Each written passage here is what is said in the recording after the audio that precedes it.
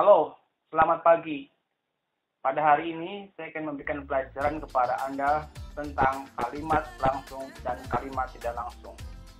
Dalam bahasa Inggris, kalimat langsung berubah jadi kalimat tidak langsung mempunyai beberapa perubahan. Dalam video ini ada empat bentuk kalimat langsung dan tidak langsung. Pertama adalah pernyataan atau statement. Yang kedua adalah komen atau perintah. Yang ketiga adalah pertanyaan yang jawabannya iya atau tidak. Dan yang terakhir adalah pertanyaan yang jawabannya lengkap. Untuk lebih jelasnya, mari kita lihat slide video berikut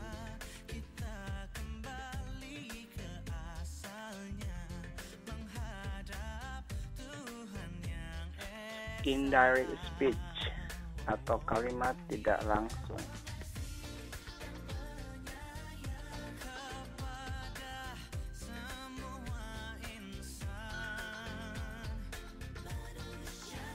Oke, okay, direct to indirect.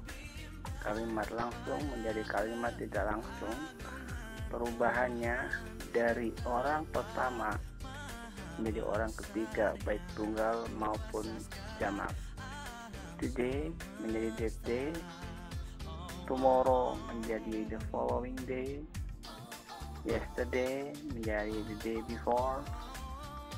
Now menjadi then. This or this menjadi that atau here menjadi there. Bentuk present menjadi past termasuk continuous.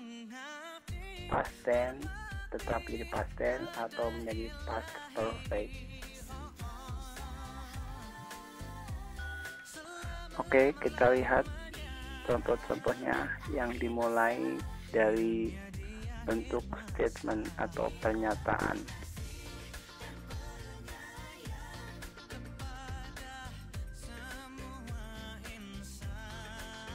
Oke, perhatikan perubahannya.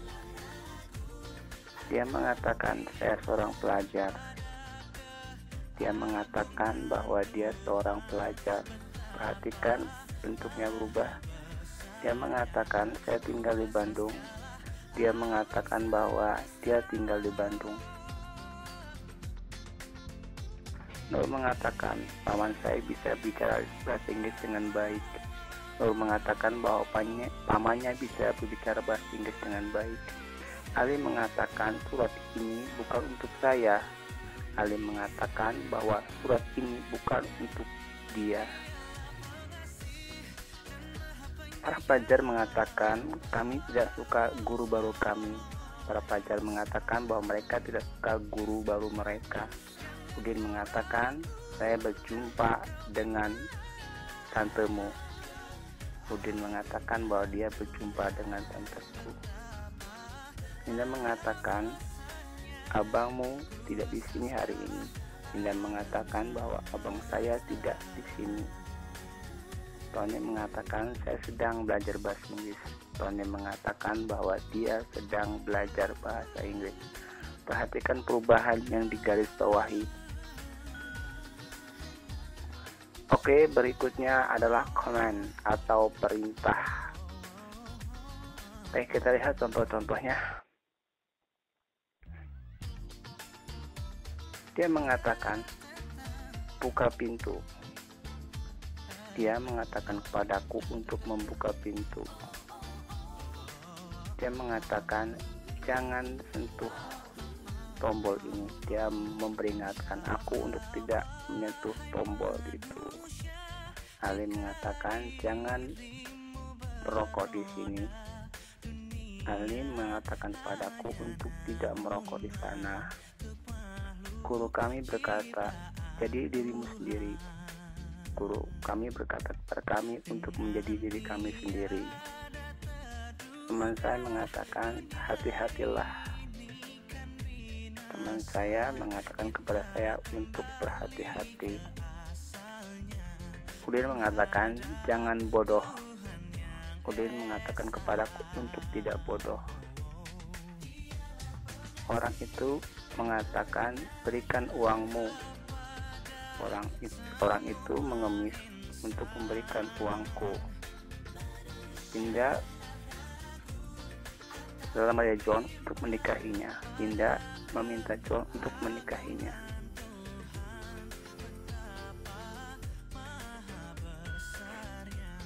Oke berikutnya yaitu bentuk pertanyaan yang jawabannya ya atau tidak kita lihat contoh-contohnya.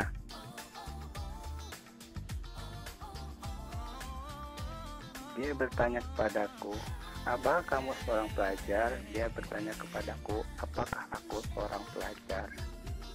Dia bertanya kepadaku apakah kamu tinggal di Bandung? Dia bertanya kepadaku apakah aku tinggal di Bandung Para tulis bertanya kepada kami, bisakah kalian bicara bahasa Inggris? Para tulis bertanya kepada kami, apakah kami bisa bicara bahasa Inggris? Bos saya bertanya padaku, sudah kau menyelesaikan pekerjaan itu? Bos saya ingin tahu apakah setelah menyelesaikan pekerjaan itu. Polisi ingin tahu apakah mau melihat pencuri itu. Polisi ingin tahu apakah aku telah melihat pencuri itu. Pacar saya bertanya padaku, apakah kamu mendengarkan aku? Pacar saya heran, apakah saya mendengarkan dia? Linda bertanya kepadaku, apakah kamu datang ke pestanya? Linda bertanya kepadaku, apakah aku mau datang ke pestanya? Susi bertanya padaku, bisa kamu datang besok? Susi bertanya kepadaku, apakah aku bisa datang ke sana hari berikutnya. Oke, berikutnya adalah bentuk pertanyaan yang jawabannya lengkap. Kita lihat contoh-contohnya. Dia bertanya kepadaku, siapa namamu? Dia bertanya kepadaku, siapa namaku? Dia bertanya kepadaku, di mana kamu tinggal? Dia bertanya kepadaku, di mana aku tinggal? Dede bertanya kepadaku, apa yang sedang kamu lakukan? Dede bertanya kepadaku, apa yang sedang aku lakukan? Ahmad bertanya kepadaku, jam berapa sekarang? Ahmad bertanya, jam berapa sekarang? Bos saya bertanya, mengapa kamu selalu datang terlambat? Bos saya heran, kenapa saya datang terlambat? Wayan bertanya kepadaku, bagaimana ibumu? Wayan ingin tahu bagaimana kabar ibuku. Orang itu bertanya, berapa anakmu? Orang itu bertanya, berapa anakku? Tono bertanya kepadaku, berapa umur anak laki-lakimu?